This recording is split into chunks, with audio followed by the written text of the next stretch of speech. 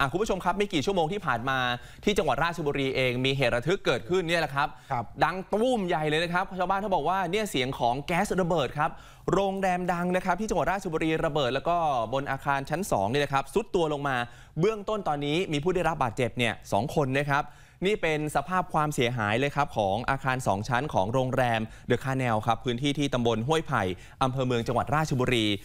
9โมงครึ่งที่ผ่านมาเนี่ยเกิดเหตุแก๊สระเบิดอย่างรุนแรงนะครับ จะเห็นว่าหลังคาแล้วก็ฝ้าผนังของตึกห้องพักสูง 2 ชั้นเนี่ยเสียหายอย่างหนัก ข้าวของพังกระจัดกระจายเลยนะครับเนี่ยฮะแล้วก็ที่สำคัญโครงสร้างบางส่วนเริ่มซุดตัว ห้องพักรอบๆอาคารต่างๆ ตอนนี้ได้รับความเสียหายกระจกแตกเสียหายเกือบทั้งหมดนะครับแรงระเบิดเนี่ยทำให้ตัวโครงสร้างแล้วก็หลังคาของคลับเฮาส์ของโรงแรมเนี่ยพังเสียหายอย่างหนัก อย่างที่บอกไปครับตอนนี้มีคนได้รับบาดเจ็บ 2 คนนะครับเจ้าหน้าที่เร่งนำตัวส่งโรงพยาบาล แล้วก็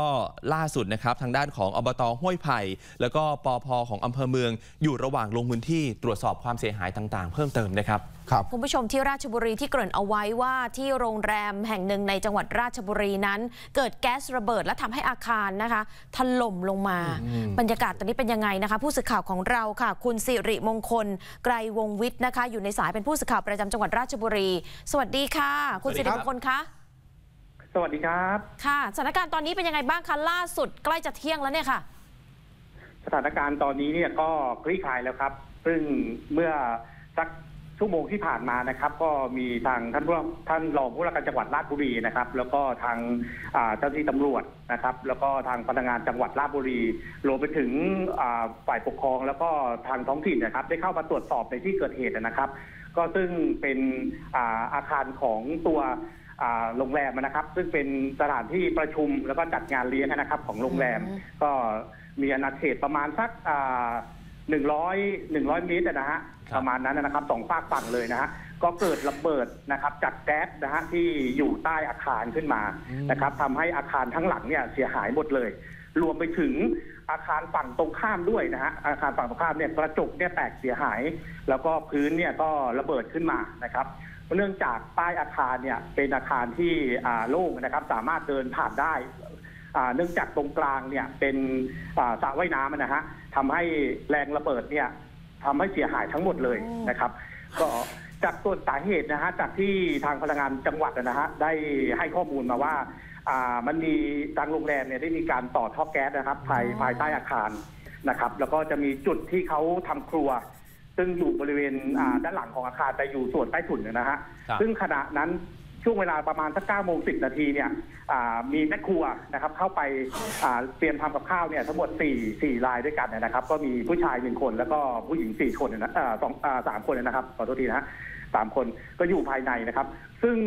เขามีหนึ่งในแม่ครัวเนี่ยได้กลิ่นแก๊สนะฮะก็แต่ก็ไม่ได้ได้สังเกตอะไร ช่วงจังจังหวะนั้นน่ะจากเจ้าหน้าที่ได้สันนิษฐานนะฮะว่าอ่าน่าจะมีการจุด หรือว่าอ่ามีการเสียบปลั๊กไฟทำให้เกิดอ่าเรียกว่าประกายไฟขึ้นมาครับทำให้แรงอัดก๊าซที่อยู่กับอ่าที่พื้นนะฮะรอบบริเวณรอบๆทั้งหมดที่มันรั่วไหลลงไปเนี่ย ก็เกิดระเบิดขึ้นมาทันทีเลยฮะอ่าอืมซึ่งแล้วจากการตรวจสอบก็มีพบว่ามีถังแก๊สอ่าถูกระเบิดไปหนึ่งหนึ่งลูกด้วย เพราะว่ามีถังแก๊สขนาด 48 โลเนี่ยอยู่ทั้งหมดเนี่ยอ่าหกถังด้วยกันนะฮะอืม ครับค่ะคุณสิริมงคลครับ ตอนนี้ยืนยันไหมครับครับว่ามีผู้ได้รับบาดเจ็บเนี่ยคือ 2 รายที่สาหัสใช่ไหมครับ มีเพิ่มเติมไหมครับ ใช่ครับ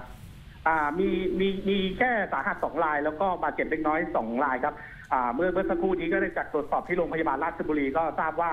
สองรายที่บาดเจ็บเล็กน้อยเนี่ยก็แพทย์ได้อนุญาตให้กลับบ้านได้อืมแต่อีกส่วนสองรายเนี่ยซึ่งเป็นผู้ชายหนึ่งรายแล้วก็ผู้หญิงหนึ่งรายเนี่ยอ่า บาดเจ็บสาหัสเนี่ยก็ต้องรักษาตัวแล้วก็เฝ้าดูอาการอย่างใกล้ชิดครับ ตอนนั้นค่ะไม่มีบุคคลภายนอกใช่ไหมเห็นบอกเป็นอาคารไว้จัดสัมมนงสัมมนาเนี่ย มีคนเข้าไปใช้บริการอะไรหรือเปล่าฮะ แล้วตอนนี้ผมดูจากอ่าสภาพคือมันเละไปหมดแบบเนี้ยอืมปิดไปเลยหรือเปล่าฮะใช่ครับปิดเลยครับ ไม่มีอ๋อไม่มีการอ่าเปิดใช้อาคารครับอ่าฮะมีคนนอกด้วยไหมฮะไม่อ่าไม่มีครับอืมจากการตรวจสอบไม่มี แล้วก็จากจากจากคนที่เห็นเหตุการณ์ก็คือผู้ใหญ่บ้านเนี่ยก็ยืนยันว่าไม่มีคนนอกเข้ามาอืม ครับค่ะ จากการตรวจสอบโดยรอบตอนนี้นอกจากที่โรงแรมแล้วคือชาวบ้านในพื้นที่โดยรอบมีบ้านที่ได้รับความเสียหายจากแรงระเบิดเพิ่มเติมไหมครับ อ่าถ้าส่วนบริเวณบ้านนี่นี่ไม่มีไม่มีครับ ก็จะมีแต่บ้านพักของทางเจ้าของโรงแรมที่อยู่อยู่ด้านหลังเนี่ยก็ได้รับความเสียหายในช่วงอ่าด้านครัว แล้วก็ตามอ่าตรงอาคารที่ติดรั้วกำแพงของโรงแรมเนี่ยครับค่ะ ได้รับความเสียหายไปด้วยครับผม อืมเบื้องต้นได้มีโอกาสได้พูดคุยกับเจ้าของโรงแรมหรือยังคะ มูลค่าความเสียหายเบื้องต้นได้ประเมินกันหรือยังอ่า ทางเจ้าของโรงแรมเนี่ยได้ให้ข้อมูลว่าอาคารหลังเนี้ยสร้างมาเนี่ยกว่า 20 ปีแล้วอืมนะครับ ก็ความมูลค่าความเสียหายเนี่ยรวมประมาณสัก 20 ล้านนะฮะโอ้โหสูงเลยอืมค่ะครับครับเพราะคุณนะครับราะว่าเสียหายเสียเสียหายทั้งหมดเลยฮะ